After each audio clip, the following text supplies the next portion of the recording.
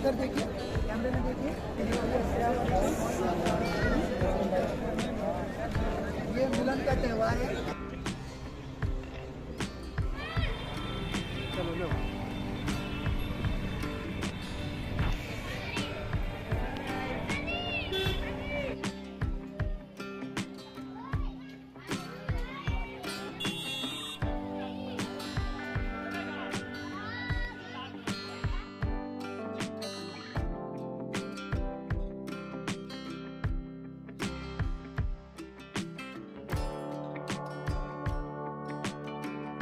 अस्सलाम वालेकुम आदाब, नमस्कार दोस्तों, मैं हूँ मोहम्मद कासिम शाहिद। आज हम आ गए हैं जामिया मिलिया इस्लामिया जामा मस्जिद। यहाँ पर ईद फित्र की नमाज़ अदा करने के लिए मुसलमानों का आज सबसे बड़ा त्यौहार है ईद फित्र। और आपको दिखाएँगे किस तरह से मुसलमान नमाज़ अदा करते हैं ईद फित्र की। ये जामिया मिलिया इस्लामिया का परिसर है, आप देख सकते हैं कितना बड़ा ग्राउंड है। यहाँ पर लोग नमाज़ अदा करेंगे और आपको दिखाएँगे कि किस तरह से नमाज़ अदा होती है। और किस तरह से लोग गले मिलते हैं, खुशियाँ मनाते हैं, आप हमारे साथ बने रहिए।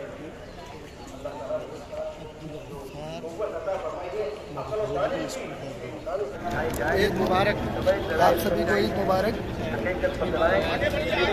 आप सभी को सबसे पहले ईद की बहुत बहुत मुबारकबाद, शुभकामनाएँ। आज हम आए हुए हैं जामिया मिलिया इस्लामिया यूनिवर्सिटी के अंदर, जामा मस्जिद में।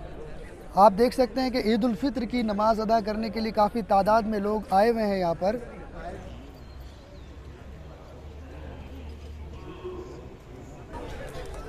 इस मौके पर हम कुछ इंटरव्यू लेना चाहेंगे, कुछ पूछना चाहेंगे उनसे कि ईद फित्र के मौके पर वो कैसा महसूस करते हैं। दो साल के बाद ईद फित्र की नमाज़ अदा करने के लिए ईदगाह आए हैं, यहाँ पर जामा मस्जिद आए हैं। तो हमारे साथ आबिद साहब हैं। आबिद भाई आइए जरा। साहब कैसा लग रहा है आपको यहाँ पर नमाज़ अदा करके आज इतने दिनों के बाद? सबसे पहले तो आप सभी लोगों को ईद की बहुत बहुत मुबारकबाद। दो साल के बाद ईद की नमाज़ पढ़ने निकले हैं सारे मुसलमान और बहुत ही अच्छा लग रहा है और हालात माशा अल्हम्दुलिल्लाह अल्लाह के फजल करम से नॉर्मल होते जा रहे हैं और हो भी गए हैं। और हम अल्लाह ताला से ही दुआ गो होंगे कि भाई अल्लाह ताला जो है ऐसे ही अमन अमान और बनाए रखे पूरे मुल्क के अंदर। और इसी तरह से हर साल ईद की नमाज़ हम अमन इतमान के साथ अमन सुकून के साथ अदा करें। और मैं सारे हिंदुस्तान के लोगों से ईद की, सारे हिंदुस्तान के लोगों को मैं ईद की मुबारकबाद पेश करता हूँ। और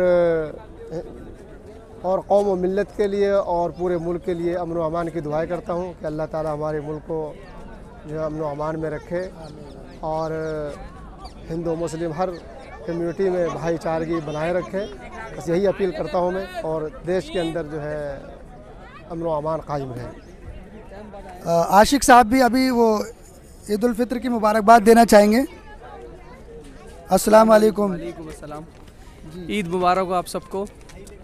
हैप्पी ईद। ये हमारे बहुत अच्छे दोस्त हैं आशिक साहब। ईद उल फित्र हमारे साथ ही पढ़ने के लिए नमाज़ आए हुए थे। सिकंदर साहब तशरीफ़ फरमा है। आज हम उनसे पूछना चाहेंगे किस तरह से नमाज़ अदा की गई यहाँ पर और कैसा रहा यहाँ का माहौल? ये आप बात करते हैं तो साथ क्या कहेंगे आप दिल से बहुत बहुत मुबारक है। और ये रमज़ान का ये गिफ्ट है अल्लाह की तरफ़ से। और आप देख सकते हैं भीड़ के अंदाजे से देखिए ये जामिया की ये यूनिवर्सिटी की मेन मस्जिद है। और यहाँ सब लोग मतलब एक आबादी निकला की पूरी चाहती है कि हम नमाज़ ईद की जो अदा करें वो ये जामिया की मस्जिद में करें तो आप भीड़ से अंदाज़ा नहीं लगा सकते कहाँ आगे बढ़ और हम मस्जिद से काफ़ी दूर पीछे कहाँ? हम तो यहीं पे हैं। और भी पीछे और आगे हमारे आगे बहुत और माशाल्लाह सर हैं। मेरे मेरे बेटे हैं अली और अली और पाक सिंह और इसमें ये हमारे इस त्यौहार में सबसे बड़ी मोहब्बत की बात यह है कि ये कोई मुसलमान का त्यौहार नहीं, पूरे हिंदुस्तान का मुल्क का त्यौहार है हमारे। और सब मिल के हैं। हिंदू, मुसलमान, सिख, ईसाई, सब लोग मिल के इस त्यौहार को और इसमें मिठास ही। है सर, जैसा कि आप जानते हैं कि कल नरेंद्र मोदी साहब ने मुबारकबाद की है। इसके बारे में आप क्या कहेंगे? बहुत अच्छा संदेश है देश के लिए। देखिए जो ज़िक्र करा हमारे मुल्क के जो प्राइम मिनिस्टर साहब हैं नरेंद्र मोदी साहब उन्होंने भी मुबारकबाद दी है। तो ये तो हक है हमारे मुल्क के प्राइम मिनिस्टर है कि वो मुबारकबाद दें और इसमें कोई हैरानी की बात नहीं है।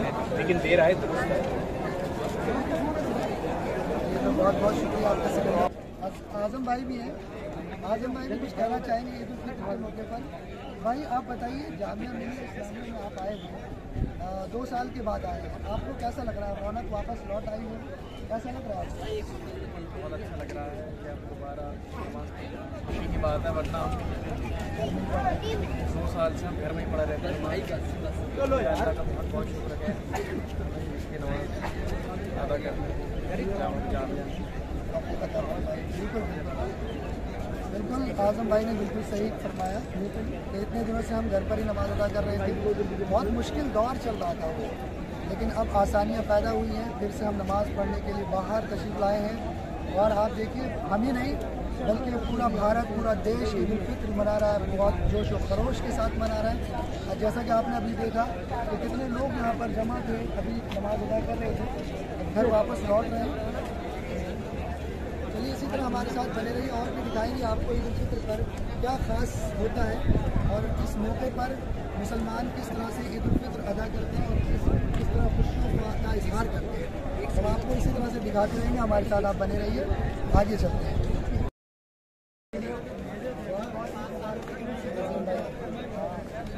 ये मिलन का त्यौहार है। यहाँ पर हमारे भाई साहब सब आए हुए हैं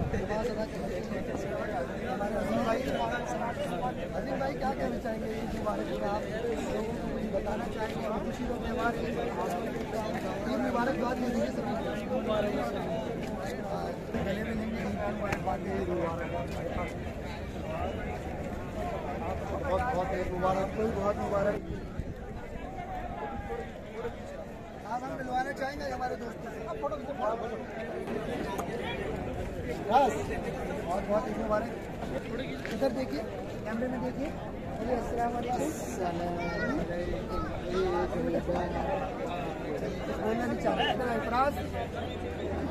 हमारे छोटे में अभी आए हुए हैं नमाज़ के लिए। ये फराज साहब करिए।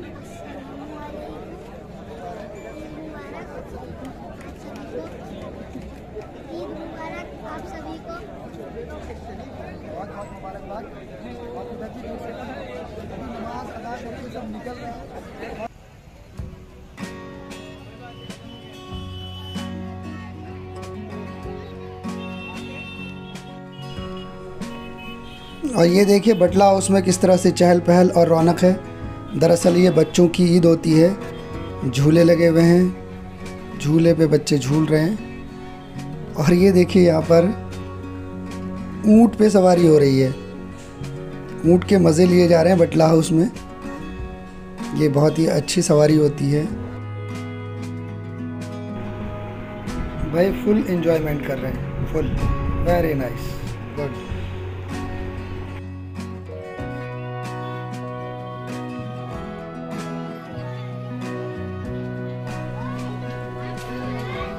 ये झूला झूल रहे हैं बच्चे। इंजॉय कर रहे हैं बटला हाउस में। ये ओखला है और ये बटला हाउस। यहाँ पर बच्चे इंजॉय कर रहे हैं खूब।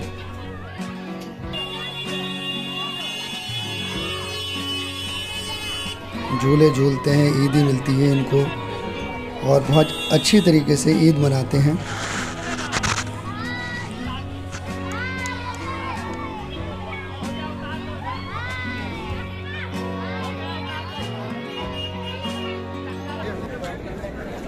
दोस्तों ये देखिए हमारी फैमिली है ये हमारे फ्रेंड्स हैं फैमिली है। ये सब आए हुए यहाँ पर जामिया मिलिया इस्लामिया जामा मस्जिद में नमाज़ अदा करने के लिए ईद उल फितर की नमाज़ अदा करने के हैं और आप सबको ये ईद मुबारकबाद देंगे एक साथ ही। आप सबको ईद मुबारक। ईद मुबारकबाद देंगे भाई आओ।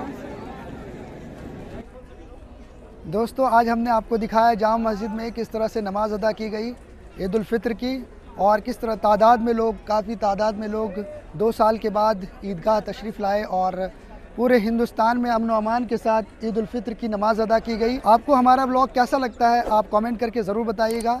लाइक और शेयर ज़रूर कीजिए और हमारे साथ इसी तरह से बने रहिए। बहुत बहुत शुक्रिया। फिर से एक बार आप सभी को ईद उल फित्र की बहुत बहुत मुबारकबाद। Thank you so much